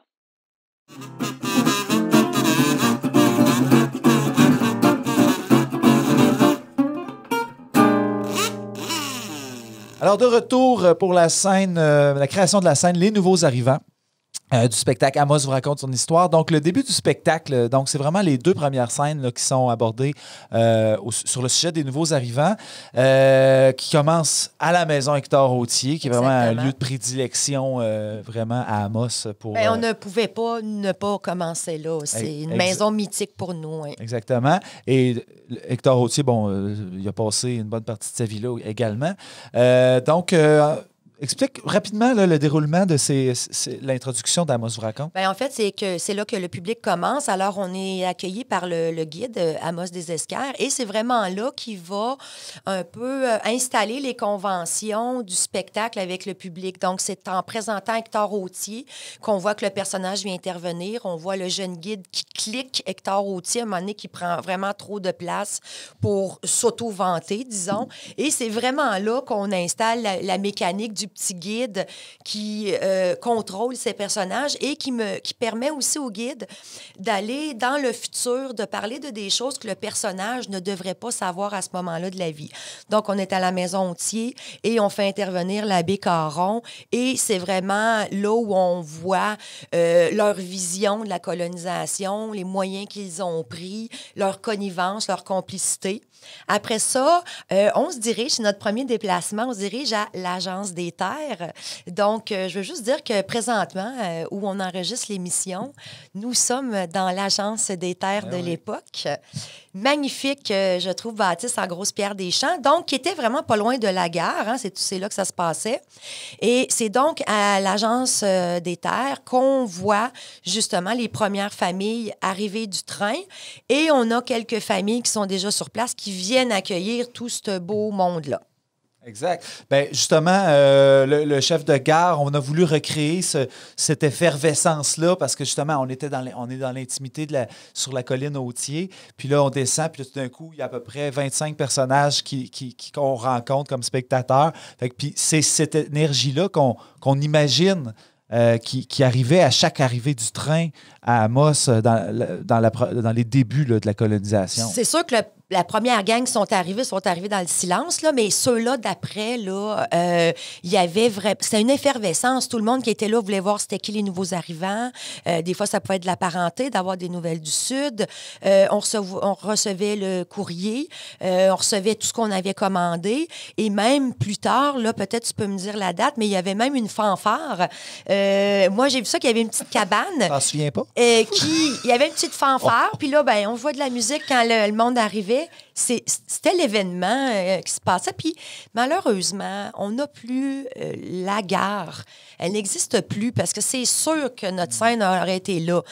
Puis là, ben, au niveau créatif, on se dit comment recréer l'effervescence d'une gare, pas de gare. Donc, on a choisi, heureusement, que l'Agence des terres était juste à côté. Ça nous permet de, toucher aux deux sujets. Mais ça, c'est une belle bâtisse qui, malheureusement, n'est plus des nôtres. Ben, on a quelques photos euh, du parc de la gare euh, pour se remémorer. Et, et justement, c'est arrivé quelques fois euh, qu'on a eu la chance d'avoir le train qui passait Ah oui. pendant la scène. C'est hallucinant parce que, tu sais, je ne sais pas si ça avait déjà été sur le bord de, de la voie ferrée, à pied quand le train passe. C'est impressionnant. Ça a un bruit de ferraille.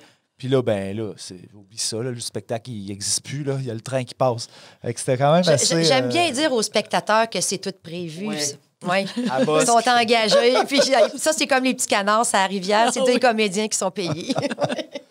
Euh, ben, D'ailleurs, les, les familles qu'on accueille, puis on, on va vraiment l'entendre dans quelques instants, mais tu as le chef de, car, euh, de, de gare qui est là, qu'on apprend, euh, qu'on rencontre pour la première fois. Euh, tu as Ivanoué Frigon qui, qui, qui arrive aussi comme pour faire du commerce. Oui, ben, il était dans les premières arrivants. Il y, a- il y a été plusieurs. Moi, j'ai pris Vanoué Frigon parmi tous les commerçants euh, parce qu'il voulait vraiment euh, avoir des, beaucoup de lots pour sa famille. Puis il, Il y a encore de la descendance ici, c'est Oui. ça qui est intéressant. Oui, oui. Euh, puis Madame Croteau, ça que la scène tourne beaucoup autour de, Ben, de son Madame personnage. Grotto, qui est une femme assez exceptionnelle, bon, elle était euh, récemment veuve et puis, euh, comme c'était une catholique euh, fervente et qu'elle avait une très grosse famille, là, 15 enfants, elle voulait vraiment que ses fils aient une terre et faire un domaine familial. Donc, la BTB a été pour elle une opportunité qu'elle a prise. Euh, Donc, elle a euh, fait le voyage. Elle avait envoyé ses, ses garçons plus aînés avant euh, chercher des lots puis un petit peu préparer le terrain. Mais elle débarque là, toute seule avec euh, sa marmaille. Et oui, au niveau du spectacle, euh, ça flash. flash. Quand on voit euh, Martine qui interprète Madame Croteau avec toute sa gang d'enfants, puis on essaie d'y en mettre, euh, tu sais, 5-6 par, euh, par année pour donner l'impression qu'ils sont 15. Et, et cette femme-là, elle a eu un parcours extraordinaire parce que dix ans plus tard, elle a eu un prix, euh, le mérite agricole, qui a été remis pour la première fois à une femme. Elle a fait partie des livres d'histoire. Elle est devenue un exemple. On la comparait euh, Maria Chapdelaine, qui était un, roman très populaire de l'époque. Elle a eu un parcours exceptionnel parce qu'elle a beaucoup, beaucoup travaillé, puis elle a réalisé son rêve. Ils ont eu un grand domaine familial. Fait que c'est le fun de l'avoir au début arrivé euh, avec, avec sa. Son- sa valise, puis ses manches retroussées, puis dire, regarde, moi, l'ouvrage des hommes, ça me fait pas peur. Puis elle, elle en a travaillé. euh. et on a aussi, euh, j'aime bien, euh, Marcel et Marceline. Ah, Marcel et Marceline. Parce que, bon, euh, là, on parle de la BTB, mais c'est pas fait pour tout le monde, la BTB. Puis il y en a qui, ont- qui sont venus, ils ont essayé, mais ils ont ressacré leur camp, comme on dit. C'était c'était trop difficile, c'était pas ce qu'ils voulaient. Et donc, Marcel et Marceline est notre couple qui euh, On voulait- refuse de s'installer. On ici. voulait faire résonner aussi avec aujourd'hui parce que. Tu sais, c'est- on- je pense que ça, l'a- ça, ça fait partie de l'histoire, en fait. Euh, les, les, la BTB, euh, il y en a qui viennent faire un, un petit temps euh, pour le travail, puis tout ça, puis il y en a plusieurs qui repartent, puis ceux-là qui s'installent, puis euh, qui font toute leur vie ici, justement, euh, ben, je trouve, qu'on le dit bien, là, la BTB, c'est pas fait pour tout le monde. C'est- un, beau personnage, c'est un beau clin d'œil aussi à, à ces gens de passage qui passent par ici. Donc, dans la scène, on a Hector Routier qui explique vraiment le fonctionnement euh, de l'Agence des terres. euh, et voilà. Donc, on va l'écouter, cette fameuse scène, euh, dans une mise en lecture théâtrale. Écoutons la scène d'ouverture suivie de la scène des nouveaux arrivants, tirée du circuit historique théâtral. Amos vous raconte son histoire.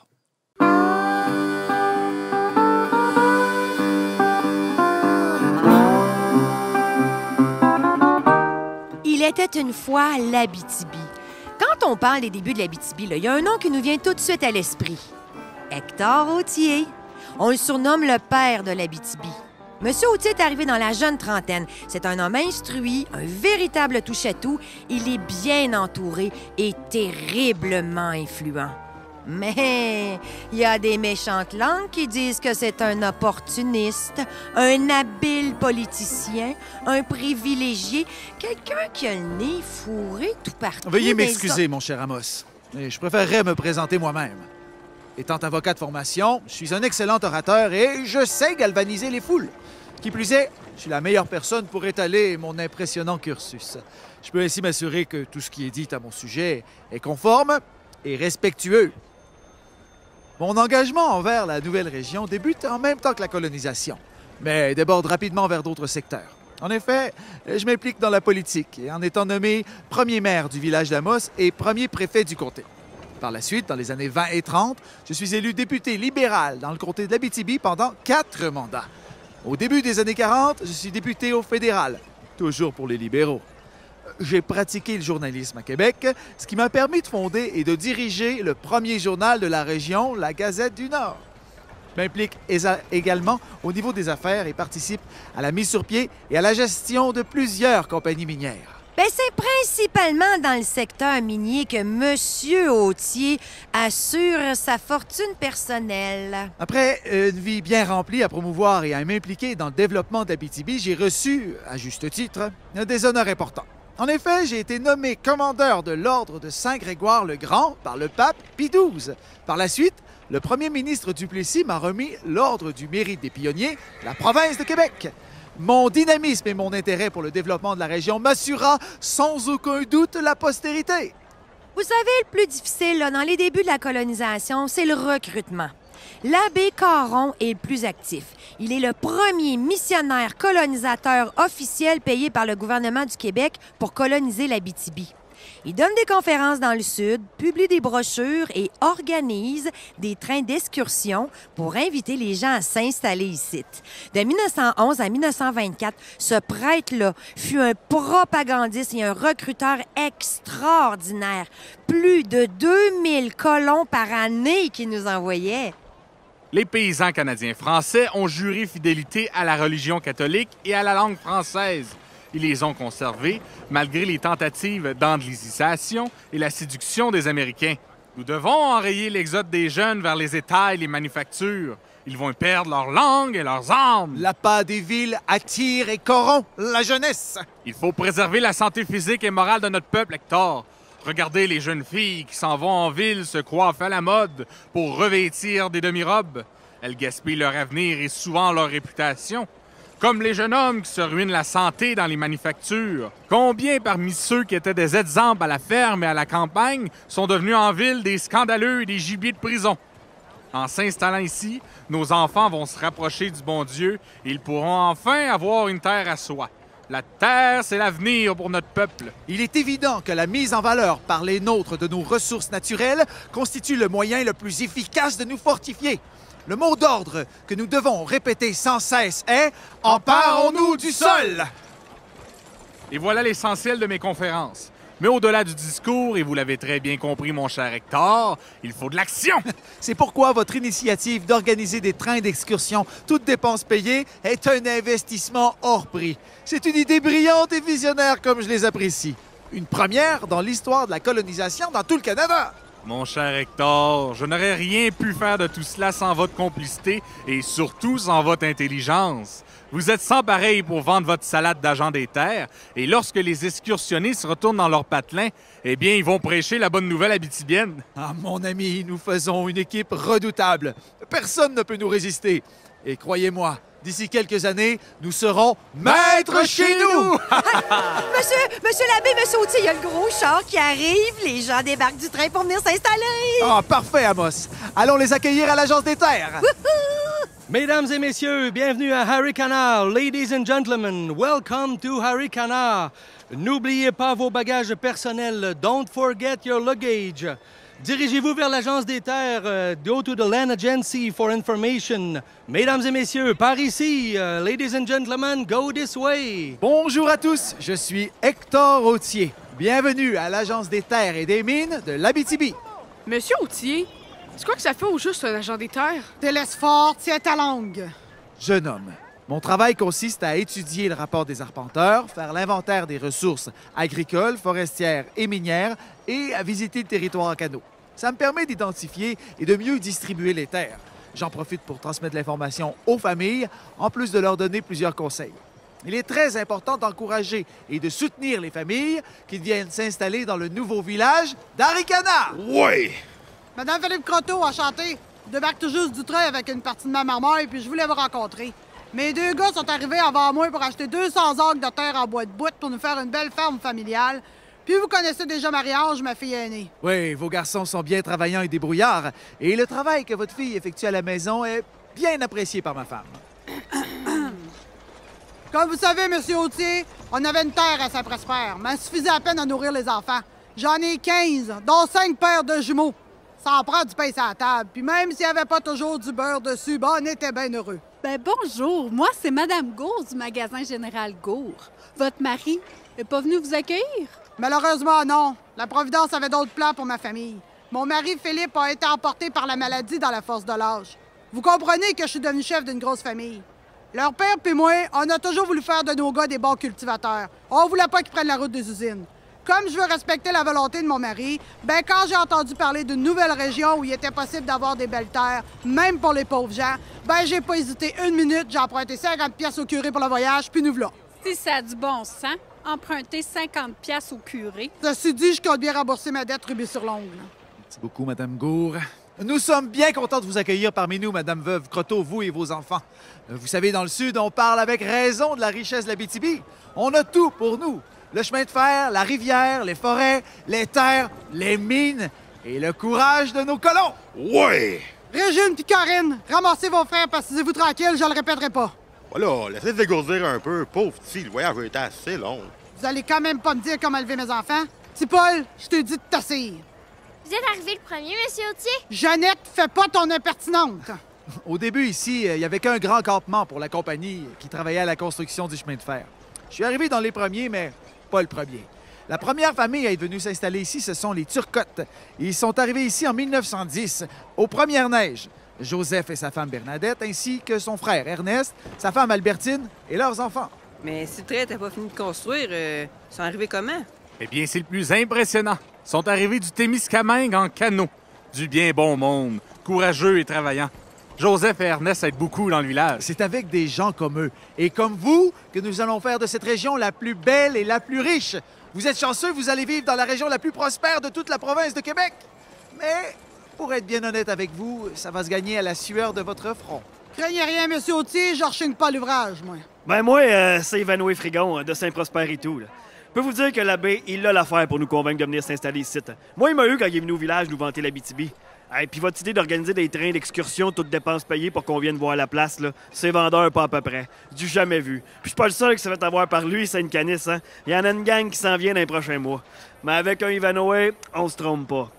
Moi, euh, je viens m'installer ici avec l'intention de faire du commerce. Moi, je voudrais me partir à un magasin général pour vendre des outils de femme. En fait, tout ce qu'un colon peut avoir de besoin. C'est bien d'être les premiers. On va pouvoir choisir les plus beaux lots. Moi, là, j'ai bien l'intention d'en avoir pas mal. C'est que je pense déjà à ma descendance, puis euh, je m'arrêterai pas à un magasin général Sainte-Canice. Bon, comment ça marche, l'achat des lots, là? Eh bien, je vais vous émettre un billet de location qui vous confère certains droits sur votre lot, mais aussi certaines obligations. Quand toutes les obligations du billet de location auront été remplies, le département de la colonisation procédera à l'émission des lettres patentes qui vous rendront propriétaire du lot. Ça prend combien de temps avant d'être propriétaire? Environ cinq ans. Avant de commencer à bâtir votre maison, vous devez participer à la corvée des chemins qui mènent à votre lot. Marcel, il est pas question que j'habite dans un camp en bois. Je vais construire la maison par les soirs, quand j'aurai fini de faire du chemin. À ce prix-là, ça va prendre des mois avant que la maison soit finie de construire. Vous avez 12 mois pour euh, bâtir une maison habitable de 20 pieds par 24 pieds. Euh, sur votre terre, vous devez défricher chaque année minimum 3 acres. Il faut d'abord enlever les arbres qui n'ont aucune valeur commerciale. Ensuite, il faut couper tous ceux qui peuvent servir à la construction. Ben, c'est votre premier gagne-pain. Quand vous serez prêt à tasser les abattis, C'est quoi ça veut dire, tasser les abattis? Veux-tu une mornif? Laisse parler les adultes. c'est brûler les déchets de bois euh, pourris. Donc, euh, après avoir tassé, dessouché et déraciné, vous pourrez enfin faire votre première semence. Entendu ça, Marcel? Pas mal plus dur ici qu'à Saint-Rémy. Notre terre était pauvre là-bas, mais elle existait au moins. À chaque année, un inspecteur de la colonisation viendra vous voir pour calculer le nombre d'acres défrichés, essouchés et labourés sur la terre consentie. Est-ce que c'est tout? Euh, au bout de cinq ans, vous devez avoir une grange, une étable, avoir fabriqué les clôtures, les rigoles et les décharges pour égoutter votre champ. Euh, je ne vous cacherai pas que le travail est pénible. L'isolement et les privations sont bien réels. Madame Croteau, comment vous allez vous en sortir sans mari? Écoutez-moi bien. Ce que les hommes sont capables de faire, je me sens la force puis le courage de le faire. Puis en plus, il s'agit du bonheur puis de l'avenir de mes enfants. Puis misère pour misère, aussi bien de choisir celle qui mène à l'indépendance. Va qu'on retourne en bas. Y a rien ici. Y a Pas de chemin, pas de voisins, pas d'école. Y a juste un docteur pour toute la région. Puis l'hiver, il fait frais comme au nord. L'été, on se fait manger par les moustiques, les taupes et les mouches noires. Marceline, après tous les sacrifices qu'on a faits, on pourrait au moins essayer. Bon, si tu finis là vos parages, quand est-ce qu'on signe la paperasse? J'ai les papiers ici. Moi, je veux l'eau 44, juste à côté des deux terres de mes gars. Mère, nous pourrions peut-être les héberger à la maison en attendant que leur maison soit construite. C'est une excellente idée, Marguerite. Avec autant d'enfants dans si peu de commodités. Merci beaucoup à vous, Madame Veuve Philippe Croteau, d'avoir choisi notre belle région. Vous allez voir, vous ne le regretterez pas. Marcel, on rembarque dans le train, c'est mon dernier mot. Excusez-la, là. Marceline, ça n'a pas d'allure, ton affaire. C'est toi qui n'as pas l'allure, c'est pas, pas tout ce qu'on nous avait dit. J'aurais d'oser écouter ma mère, moi. Ah, c'est pas les premiers qui retournent en bas. L'Abitibi, c'est pas fait pour tout le monde. Oh, Madame Croteau, venez vous installer chez nous avec les plus jeunes en attendant que votre maison soit complètement terminée. Merci bien, madame. Madame Biguet, je suis la femme du médecin. Mon mari passe souvent là, ça me fera de la compagnie. Merci bien, mais je veux rien devoir à personne. On va se tasser puis on va être bien correct dans le camp. Parvoyeux. Rappliquez ici, les enfants, on va leur rejoindre vos frères. Puis, petit Paul, salis pas tes bottines dans la boîte. Monsieur Mascotte, euh, dites-moi, quand est-ce que le train repart pour en bas? Euh, je vous dirais deux jours, euh, Monsieur l'abbé, euh, le temps de tout déloader puis de faire les check-ups. Euh, vous restez pas un brin avec nous, Monsieur l'abbé? Certes non, Hector. Maintenant que le train part de l'est de Québec, ça raccourcit de plus de la moitié le voyage et ça va favoriser la colonisation. J'ai beaucoup de conférences à donner dans le sud. Maintenant que le char il passe par Hervé Jonction pour faire des runs de 400 000, on raccourcit de plus la moitié des voyages qui partaient de l'Ontario. De Cochrane, ça faisait un peu plus de 900 000 de caotage. Long et pénible. Ah, et dans pas long, euh, il va rajouter des sleeping cars, euh, des dining cars. On n'arrête pas le progrès, messieurs. Bénard et Sicard, là, ils ont fait de la belle ouvrage pour la gare.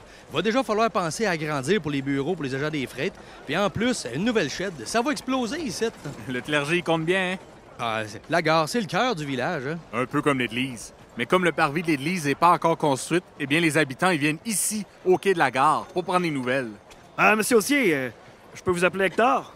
Faudrait que je vous parle dans le privé. Euh, C'est que moi, euh, j'ai une coupe d'idées pour des projets puis des commerces, là, puis euh, je voudrais vous en jaser un brin. Ben, you have to speak English. Les Canadiens français qui parlent anglais ont des bien meilleures opportunités. I know. Oh, repartez-moi pas avec les Anglais, vous, là. Accompagnez-moi donc à la maison. Ou plutôt non, tiens, suivez-moi à l'hôtel. C'est le meilleur endroit pour discuter des affaires. Ah, ben, Sainte-Canis, Hector, je vous suis. Mesdames et messieurs, pour l'hébergement, vous pouvez aller à l'hôtel Transcontinental par ici. Ladies and gentlemen, for the Transcontinental Hotel, this way. Pour le Windsor, suivez le petit Amos. For the Windsor Hotel, follow the guide. Bon séjour parmi nous, mesdames et messieurs. Ladies and gentlemen, have a good stay.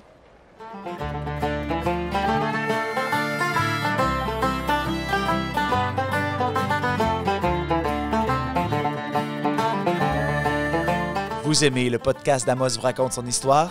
Visitez nos attraits touristiques d'Amos Aricana, le Vieux Palais d'Amos, la Maison Hector Routier, le Centre d'archives d'Amos, le dispensaire de la Garde à la Corne et de même que le Musée de la Poste et de la boutique de Forge de Saint-Marc.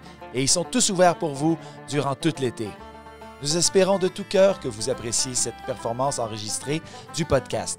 Si vous souhaitez supporter les productions du Raccourci, un organisme sans but lucratif multidisciplinaire artistique de l'Abitibi-Témiscamingue, vous pouvez le faire en faisant un don au lien disponible dans le descriptif du podcast. paypal.me oblique raccourci. Ah, bravo, bravo les comédiens. Oui. Ben ouais, c'est ça. Que- pendant l'écoute, je, je disais, mon Dieu, que c'est compliqué, euh, les billets de location. C'est. euh, tu me disais que ça n'a pas toujours fonctionné comme euh, tel qu'il avait prévu. Ben, C'est-à-dire la vente des, lots, comme c'était prévu initialement, ils ont été obligés de, s'adapter finalement. J'aurais le dire au marché, là, mais Ouais. euh, au colon, là, à un moment donné, euh, il y a des choses qu'ils avaient pensé au début qui pensaient bien correct, puis euh, dans, dans le concret, ça fonctionnait pas, donc ils ont dû ad- adapter. Comme mais le billet de location, ben, euh, sur les, les- les termes, sur euh, le nombre de temps que les gens pouvaient payer, euh, mais le billet de location, là, tout ça, ça, ça a toujours été comme ça, mais les conditions pour obtenir une terre ont, ont un peu été modifiées au cours des années pour pouvoir euh, répondre, si, si on veut, à- aux conditions des, des colons qui venaient s'installer. c'était difficile, je veux dire, ils construisaient leur maison. Puis comme on le dit, quand vous avez fini de construire votre, votre journée de travail, vous venez faire la corvée des chemins, qui n'était pas évident non Ouais. plus. Puis il y avait leur journée dans le corps. Ça se passait comment? Ouais, mais la, ça? la corvée des chemins, c'était, je pense, euh, en fait, c'était. euh, ils engageaient du monde là, pour travailler au chemin. Mais ils, voulaient engager les hommes qui étaient ici. Ils se sont dit, ben ça va peut-être lui faire des sous, puis en même temps, ça nous prend des routes, puis ça nous prend des chemins. Ça n'a pas fonctionné aussi bien qu'ils pensaient parce que finalement, beaucoup d'hommes étaient beaucoup plus intéressés à justement défricher leur terre qu'à venir travailler pour, euh, pour faire des chemins. Là, euh, Pour la voirie, Pour la voirie, c'est ça, finalement. Mais moi, j'écoute une scène de même, puis je me dis, et Bruno et Carmen, on est à cette époque-là. Là. Vous êtes dans votre vieille paroisse, là, puis on vient vous vanter la BTB. Êtes-vous genre à sauter dans Ah. le train? C'est une aventure que vous auriez vécue à l'époque? Ben, sûrement. Ben, moi, c'est- moi, je l'ai faite, hein? Ouais, mais quand t'es venu, toi, il y avait l'électricité puis une belle fille qui t'accueillait, là, mais si t'avais fallu que tu fasses ton chemin. Moi, je pense que j'aurais été trop momoune, euh, pas assez travaillante pour l'époque. Moi, Ouais. je sais pas. Je sais pas. euh, ça prenait vraiment, euh, vraiment une dose de courage. Et je pense que c'est encore plus important pour les femmes. Oui, et c'est exactement ce que je me disais. Hey, J'aurais que trouvé ça. C'est l'isolement de ta famille, c'est t'as plus de, de, de soutien. Ben là, les gens vont, vont apprendre à se connaître, puis bon.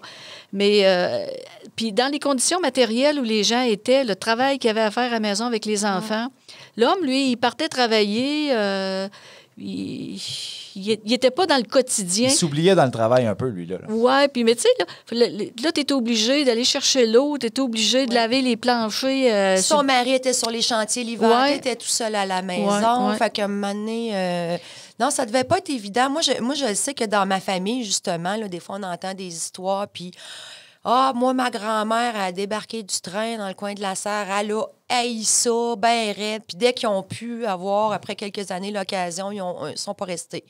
Fait que, tu sais, ça n'a pas été une histoire d'amour pour tout le monde. Non, puis il y en a qui racontent, tu sais, qu'en arrivant, là, les deux pieds dans, dans, dans, gadou, là, puis euh, les femmes, ils broyaient, là, euh, t'étais pogné avec les petits. euh, dans ce temps-là, le mari, euh, les enfants qui broyaient, là, c'était « va voir maman hein? C'est ça. Fait que tu étais pris avec ça, t'installer dans un petit... Parce que faut dire qu'il il y avait un certain confort dans le Sud. On n'est pas, on n'est pas au 17e siècle, là. Les gens, ils partent avec souvent euh, des belles... Il y avait des belles maisons, euh, il y avait le confort. Il y avait un minimum de confort comme on avait à l'époque. Mais euh, puis il y avait des voisins, puis il y avait l'entraide, il y avait la famille. Puis là, tu te retrouves euh, d'une petite maison, euh, souvent pas très grande. Et plein d'immigrants aussi. Tout le monde qui vient de partout. Tu connais pas. C'est pas ton réseau. Euh, sauf qu'au début d'Amos, c'est beaucoup des gens qui viennent des, euh, des, des mêmes paroisses. Ah ouais, c'est Ils vrai. essayent de les regrouper, Ils justement. Ben, pour qu'ils se sentent moins isolés. Ben, c'est parce qu'il te faut une force mentale Ouais. assez exceptionnelle si tu veux pas, justement, euh, succomber à, à l'isolement, au Et, désespoir. et à peine dix ans plus tard, on s'est lancé dans la construction de la cathédrale. Oui, oui, ben ça aussi, Quand ça devait même. pas être un petit chantier. hein, fait que- on avait le bon Dieu là, quand ça allait pas bien. là. Ben, moi, c'est pour ça que je trouve ça important bon de, saluer le- les, nos origines, les gens qui sont venus défricher, parce que c'était vraiment physiquement et moralement difficile. Tu viens d'en parler. Le travail des femmes est encore plus difficile. Fait que c'est pour ça que je trouve ça important, justement, de, de faire des spectacles, de faire des livres, des émissions, de parler de ce courage et de, de ce travail-là qui a été fait là pas si longtemps, puis qu'aujourd'hui, on n'est pas sûr du tout qu'on serait capable euh, d'en faire même la moitié. Mais tu sais, c'est un peu comme aujourd'hui aussi l'histoire, on peut faire un parallèle avec les immigrants qui nous arrivent, euh, euh, des fois complètement démunis là, au Oh. Canada. Puis euh, euh, ça leur prend une fameuse dose de courage. Des fois, oui, ils quittent des conditions pénibles euh, parce que souvent, ils- s'ils émigrent, c'est pas nécessairement parce que ça Allait fait leur bien. affaire, Ils ça peuvent va fuir pas la bien. famine ou la guerre. Mais c'est ça, mais ils s'en viennent quand même dans un pays où dont ils connaissent, nous autres au moins ils connaissaient, on a- il y avait la même langue, la même religion, la même Exact. culture. Là, ils arrivent dans des, dans des, des régions où tout est différent. là, tout est différent. Le climat, le- le- l'environnement. Puis La là, tu l'as plus, tu l'as plus, le soutien de la famille. Euh, quand tu es dans une grande ville, ils se regroupent en, en gens de, de, de, la même langue ou de la même religion. Ouais. C'est comme ça qu'ils vont refaire leur milieu culturel. Exact. Mais quand ils arrivent, que tu débarques de l'avion puis tu es seul au monde, là, ou- c'est- pas facile. Là. Non, je, je pense que ces femmes-là et ces hommes-là, justement, là, des- des- de la colonisation, euh, méritent Et- tout notre et- respect. Et il faut se souvenir euh, qu'avant leur arrivée et la nôtre, tout ici n'était que forêt.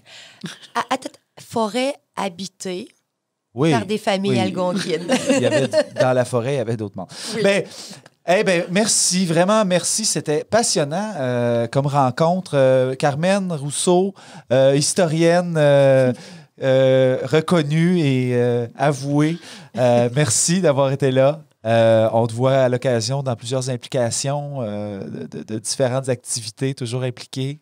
Tu viens nous voir à chaque année en spectacle. Oui, toujours avec plaisir. Ben, merci beaucoup. Merci. Merci également, Véronique Filion. Merci à toi, Euh, Bruno. bon, euh, bon, ben, bon, bon succès dans, Dans, dans l'écriture de mes livres pour enfants, oui, oui. vraiment, Ben, vraiment. justement, hein, c'est pour ça qu'on qu'on veut écrire, hein, pour que la mémoire euh, reste. Dem- demeure, exactement. Donc, c'était Bruno Turcotte à l'animation du podcast Amos vous raconte son histoire. Merci aux comédiens euh, qu'on a pu entendre dans la scène aujourd'hui. Véronique Filion, Marc-André Boucher, Mathieu Prou, Mallory Parent, Bruno Turcotte, David Hébachère, Martine Bellil, Micha Turcotte, Maxime Ali, Valérie Gastonguay, Marie-Pierre Lavoie, Alain Lapointe, Karine Brisebois et Elisabeth Higgins. Laissez vos commentaires sur notre euh, vidéo, que ce soit sur Facebook, YouTube, et notez votre appréciation dans notre balado euh, sur l'application Apple, le balado Apple. Vous pouvez noter là, 5 étoiles, euh, écrire un commentaire. On, va être content d'avoir ça. Je vous invite à nous suivre en aimant, en partageant et en, en communiquant votre plaisir à nous écouter, et ou encore en vous abonnant. Je vous rappelle que vous pouvez écouter tous nos épisodes de toute la série de podcasts euh, sur, en vous rendant directement sur le site internet productionduraccourci.com. Merci à nos partenaires qui nous soutiennent depuis de nombreuses années dans tous nos projets et de vous, auditeurs, sans qui toute cette aventure serait impossible et inexistante. Hey, on vous dit merci à tous et à la prochaine.